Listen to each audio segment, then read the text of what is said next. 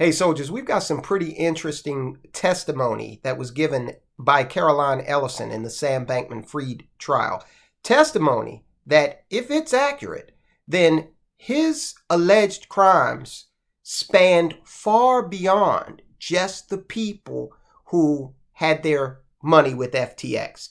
In fact, if you held Bitcoin, or maybe even some other coins, allegedly, then Sam Bankman Fried tried to suppress your value, even if you were not a client of the FTX brokerage. Caroline Ellison is alleging that Sam Bankman Fried engaged a scheme to keep Bitcoin at or below $20,000. This is coming out in her testimony. It's a bombshell. Uh, again, this has ramifications for folk that are not even involved in any way, shape, or form doesn't even know what the hell FTX is or was. Sam Bankman Fried conspired to keep Bitcoin price under $20,000, according to Caroline Ellison. This is an allegation that has been brought up in her testimony. Uh, Sam Bankman Fried is facing uh, his seventh day, I guess, at this point in court with former lover and ex Alameda Research co founder and CEO Caroline Ellison taking the stand to reveal some rather interesting details about their time together. Among the latest, Ellison noted that SBF deliberately worked to stagnate the price of Bitcoin, keep it below the $20,000 mark. All right, so how do you do this? Well, that scheme that allegation, in and of itself, is extremely egregious. But as they say in late night infomercials, there's more. According to Ellison, Sam Bankman Fried had her create a balance sheet called FTX Borrows to help hide the amount of customer money that FTX had borrowed. She also added that Sam Bankman Fried had instructed her not to put anything in writing that could get the company in trouble. Okay, so that's the kind of uh, directive that you might hear from mob bosses, okay, um, numbers runners, things like that, weapons traffickers.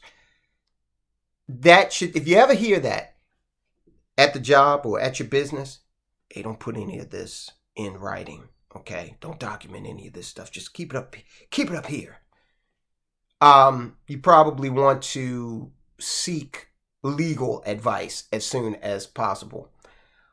The testimony steadily transitioned to the witness revealing how the defendant, Sam Bankman Fried, conspired to sell Bitcoin tactfully with hopes of suppressing Bitcoin's prices below $20,000 and keeping them there artificially.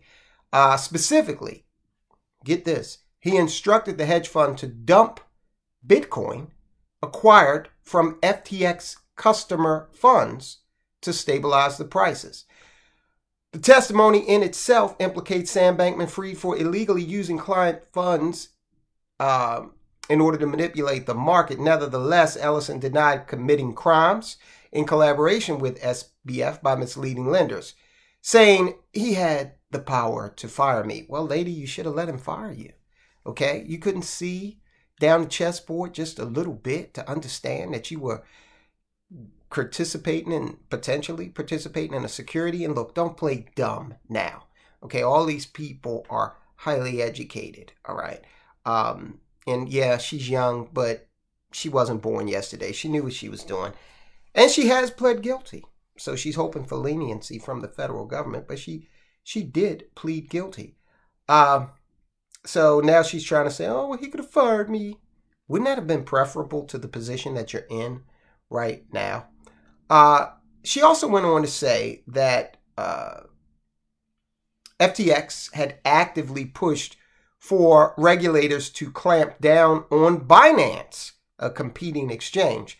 It came after the jury was presented with a to do list written by Alameda ex executive Ellison with regulators focusing attention on Binance added to the to do list. Uh, so looks like they wanted to kind of scuttle CZ over at Binance, knock out some of the competition by using regulators to do so. And remember, part of the allegations against him have to do with campaign finance contributions that were made illegally. So, was he trying to use the uh, influence and power of officials that he'd contributed to to shut down another business? Needless to say, the industry and market rival, rivalry between FTX and Binance were common knowledge considering they were both large players in their individual spaces. When the crisis hit FTX, Binance, Binance almost acquired that exchange, but pulled back during the last minute, ultimately sealing the fate of the exchange. Now, with regard to Binance, only days ago, a new lawsuit alleges that uh, their CEO, uh, Changpeng Zhao, had a vendetta against FTX. All right, so uh, filed by SBF, he claimed that it was this vendetta that drove Changpeng Zhao to post misleading information about the platform. Rings kind of hollow now, especially with you're sitting at the defendant's table. Ah, Sam Bankman Fried. I mean, come on. So that's where we are uh, with the latest.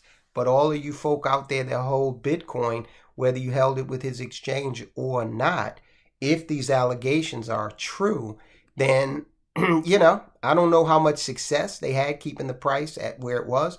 But of course, it's only a matter of looking back in time and seeing whether or not uh, during the time frame where it was at 20,000 or below, if the exchange was still in operation. And I'm sure you can scour the transcripts of the testimony to find out if he was successful in doing that. And if he was, what kind of civil and or criminal penalties is he facing for that? For that matter, what about FTX being sued by the holders of Bitcoin for that? Is that a possibility? Listen, I'm no attorney. However, I have seen all of the good episodes of Law and Order. Uh, and I think you you know they might have something there. But if you actually did the whole thing where you went to law school and you know all that jazz, weigh in. Let us know. In the meantime, check out this video. You're going to find it very informative and very helpful in terms of assisting you in strengthening your financial future. Guys, I'll talk to you soon.